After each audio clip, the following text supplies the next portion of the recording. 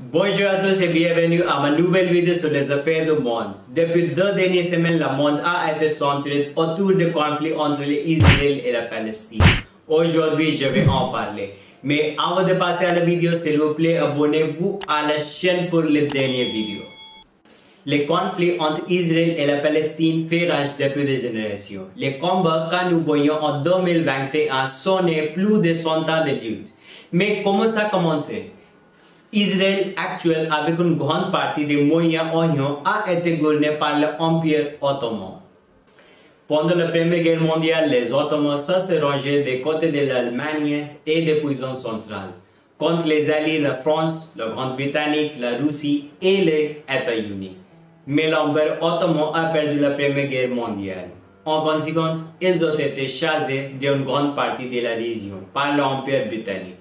Pendant la phase de dissolution de l'Empire ottoman, les Britanniques ont pris le contrôle de la zone connue sous le nom de Palestine. La terre était habitée par les minorités juives et les majorités arabes. Avec la défaite de l'Allemagne dans la guerre, la montée d'Adolf Hitler a commencé qui a blâmé les Juifs pour la défaite du pays et les Juifs ont été persécutés dans les zones qu'il contrôlait. Les Juifs fuyaient la persécution en Europe et cherchaient une patrie ont immigré en Palestine en grand nombre. En 1917, au plus fort de la guerre mondiale, le ministre britannique des Affaires étrangères, Arthur James Balfour, a présenté une lettre d'intention en faveur de l'établissement d'une patrie juive en Palestine. La déclaration Balfour et la mandat britannique sur la Palestine ont été approuvés par la Société des Nations en 1922.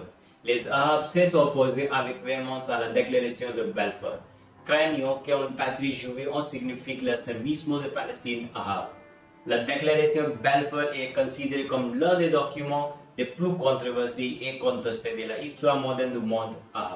L'objectif principal du monde britannique était de créer les conditions pour l'établissement d'un foyer national juif où les juifs constituaient moins de 10% de la population à l'époque. De 1939 à 1945, des protestations ont commencé sur la politique britannique concernant l'immigration juive à grande échelle, principalement de la Europe de l'Est et les achats de terres. La demande d'indépendance et de résistance des Arabes de l'immigration a conduit à une rébellion en 1937, suivie de la poursuite du terrorisme et de la violence de deux côtés.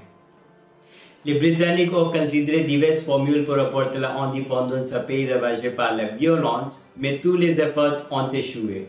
Le Royaume-Uni a demandé aux Nations Unies d'intervenir. En 1947, la Nation Unie a voté pour diviser la Palestine en deux États séparés des Juifs et des Arabes, tandis que le Jérusalem, une terre pour les deux, demandaient une ville internationale. Les dirigeants juifs ont adopté le plan, mais les Arabes l'ont rejeté. Tous les Juifs et les Arabes ont revendiqué l'État historique de Palestine. En 1948, les Britanniques réalisaient qu'ils ne peuvent pas résoudre le problème, donc ils sont partis. En mai 1948, Israël a été officiellement déclaré un État indépendant avec David Ben Gurion, le chef de l'agence juive, comme Premier ministre. Mais cela ne s'est pas bien passé avec nombreux Palestiniens. À la suite de l'annonce d'Israël indépendante, cinq pays arabes, l'Égypte, la Jordanie, l'Irak, la Syrie et le Liban ont été immédiatement envahis la région, ce qui est devenu la guerre israélo-arabe de 1948. C'était catastrophique pour les Palestiniens et au moment où les combats ont pris fin l'année suivante, Israël contrôlait la majeure partie du territoire. Étonnamment, Israël a vaincu les cinq pays arabes. Les Jordaniens s'est rangé du côté du territoire occupé par les Palestiniens, connus sous le nom de Cisjordanie. À Lucas, l'Égypte occupait la bande de Gaza et la ville de Jérusalem était divisée entre les forces israéliennes à l'ouest et la force jordanienne à l'est. Estimé, 700 000 Palestiniens ont perdu leur maison et devenu réfugiés. Chaque partie a blâmé l'autre et le conflit a continué pendant des décennies. Avec l'avance rapide de 5 juin 1967, le début de la guerre 6 jours, Significatif car la carte a été à nouveau dessinée. Israël a capturé et occupé la Cisjordanie, la Gaza et les autres territoires arabes. Plusieurs milliers de Palestiniens ont plus tard fui le pouvoir israélien, aggravant une crise de réfugiés qui avait commencé pendant la première guerre israélo-arabe en 1948. Ni eux ni leurs descendants n'ont été autorisés par l'Israël à retourner chez eux. Israël a dit que cela accablerait le pays et menacerait son existence en tant qu'État juif. Actuellement, Israël occupe le Cisjordanie alors qu'il a été retiré le Gaza. Regardez maintenant Jérusalem. C'est l'une des terres les plus saintes pour les chrétiens, les juifs et les musulmans. Mais Israël réclame la ville entière comme sa capitale. D'autre part, la Palestine affirme que Jérusalem est la capitale de son futur État. Depuis 50 ans, Israël a construit des colonies à Jérusalem. Plus de 600 000 juifs y vivent aujourd'hui. Mais les Palestiniens disent que c'est illégal en vertu des droits internationaux. Il y a eu de nombreuses tentatives de paix au cours des décennies. À partir de 1979 et jusqu'aux années 90, à Oslo, les dirigeants palestiniens et israéliens se sont réunis et ont négocié une solution à deux États, connue sous le nom d'accord de Oslo. Mais au lieu de porter la paix entre eux, l'accord de Oslo a conduit une série de réclamations et de contre-réclamations de violations des accords. Il a apporté un sentiment négatif, la méfiance et le sentiment de hostilité. Par conséquent, l'accord d'Oslo a finalement échoué. Le plus récent plan de paix a été présenté par Donald Trump en janvier 2020. Le premier ministre israélien Benjamin Netanyahu a dit que c'était l'affaire du siècle, mais les Palestiniens se sont moqués de lui. Disons que c'était une affaire en son unique. La tension reste donc élevée, notamment à Jérusalem, à Gaza et en Cisjordanie. Examinons ce qui se passe à Gaza. Depuis 2007, Gaza est dirigé par un groupe militant appelé Hamas, qui a combattu Israël de nombreuses fois. Le Hamas ne reconnaît pas le droit d'Israël à exister et préfère la roquette à la diplomatie. La plupart des dirigeants de Hamas vivent dans l'hôtel de luxe en Turquie, loin de Gaza et de la guerre. Ils ont des piscines et des clubs de campagne, même des garde-corps privés. Tout cela quand les gens de Gaza souffrent.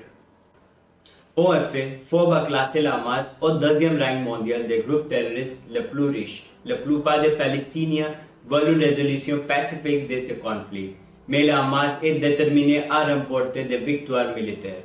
Les Palestiniens disent qu'ils souffrent parce que ce sont les actions et les restrictions israéliennes. C'est sauf Mais les choses ont vraiment démarré à mi-avril 2021, le début du mois musulman du Ramadan. On peut dire que la question a commencé avec la dame de Sheikh Zara. Sheikh Zara est un quartier de Jérusalem-Est où de nombreuses familles palestiniennes ont reçu l'ordre de quitter leur maison par Israël. Certains juifs de droite ont également eu des rassemblements provocateurs dans le quartier de Jérusalem-Est où ils ont porté le slogan Mo Zahab. Quand ces rassemblements ont passé, le combat ont entre les juifs et les communautés musulmanes arabes. Le 7 mai, le peuple palestinien proteste contre ces expulsions. Ces manifestations sont devenues violentes. Des pierres ont été lancées et le policier israélien a essayé de contrôler la situation. Des policiers et des manifestants ont été blessés dans le conflit.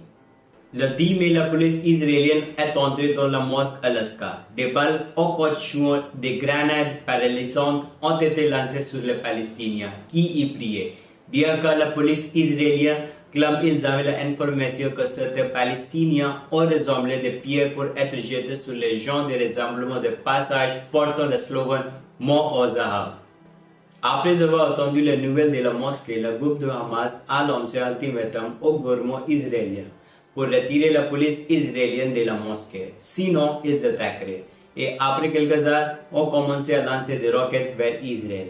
Des milliers de roquettes ont été tirées de Gaza vers Israël pour contre ces attaques et puis Israël a riposte par les frappes aériennes à Gaza.